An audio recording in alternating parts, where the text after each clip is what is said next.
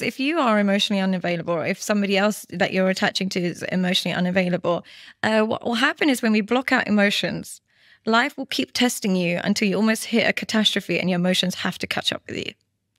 And so that's how we're designed. That's how life is. That's how God works, you know? So it might be that I don't show my emotions, don't show my emotions, don't show my emotions. And then eventually my husband says, I can't deal with you like this. I'm going to leave you. And I'm left with